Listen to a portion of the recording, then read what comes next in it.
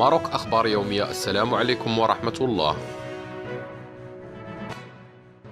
اهتز حي لابطة بمدينة فاس قبل قليل من يومه الجمعة على وقع حادث جد مؤلم وصادم يتمثل في انتحار شاب بطريقة بشعة من خلال إلقاء نفسه من أعلى جرف صخري. وأوضحت مصادر محلية في كشفها عن تفاصيل هذه الواقعة أن شابا مجهول الهوية أقدم على رمي نفسه من ارتفاع شاهق. ما أثار رعب وهلع المواطنين الذين سارعوا إلى إبلاغ المصالح الأمنية والسلطات المحلية.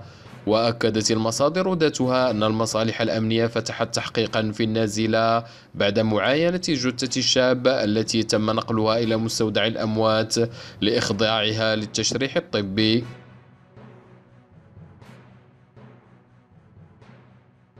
نشكركم على حسن المتابعة. قناة ماروك أخبار يومية.